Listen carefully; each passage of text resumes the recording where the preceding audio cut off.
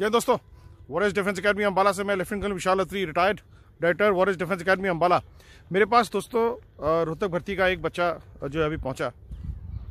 और टाइम उसका जो है, आ रहा है छः मिनट और बीम है उसके चार। और वो फौज में जाना चाहता है। भर्ती की डेट जो है रोहतक की, वो है तीन मई से। मुझे उसको जो है आ, बताना पड़ा कि भाई आप जो है नहीं हो पाएँगे। तो आ, उसके साथ में उनके घर वाले आए हुए थे तो उनको मैंने समझाया कि वो क्यों नहीं हो पाएगा क्योंकि अभी तक जो है आ, वो आ, कहते घर में प्रैक्टिस कर रहे थे। तो घर में प्रैक्टिस कर रहे थे टाइम आ रहा था छः बीम है चार तो ये प्रैक्टिस एक तो पूरी नहीं थी और जिसकी वजह से मुझे भी उनको जो है आ, मना करना पड़ा। और मैंने कहा यदि आप यहाँ पे लंबी राह तैयारी करना चाहते हो तो करिए किसी भी हालत में बाबा रोहतक भर्ती नहीं निकाल पाएँगे आप। तो फिर वही बात घूम फिर के जो मैं आप लोगों को बताता हूँ बेटे।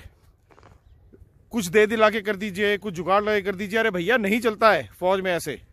नहीं ऐसे कोई जुगाड़ से करा सकता, नहीं दो नंबर से करा सकता आपको कोई। आप फिर ढूंढते हो कोई दलाल जो आपको जो है भर्ती करा देगा। ये नहीं है correct please do not do this किसी भी कहीं भी जाइए, अपने घर से निकलिए। नोटिफिकेशन की वेट मत करिए। यही चीज़ है जो मैं मना करता हूँ। नोटिफिकेशन की वेट नहीं करनी है।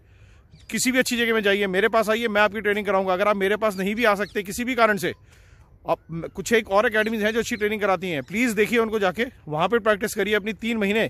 Three months you have to be there तीन महीने आपको रहना पड़ेगा टाइम पाँच डाउन करिए, उसके बाद जो है बीम अपनी दस करिए, और उसके बाद नोटिफिकेशन निकलने के बाद वापस उसी अकेडमी में जाएँ। घर पर रह के प्रैक्टिस करते रहे, उसके बाद, तीन महीने के बाद। यही कारण है बेटे, जिसकी वजह से मुझे दुख भी होता है। अब वो लड़का जो है जो है, उसकी मेरे ख्याल आखिरी भर्ती है ये। और वो अब नहीं देख पाएगा, वो पास नहीं हो पाएगा। आप लोग दूसरों की गलती सीखो, अपनी गलती खुद मत करो इस तरीके से। ठीक है बेटे?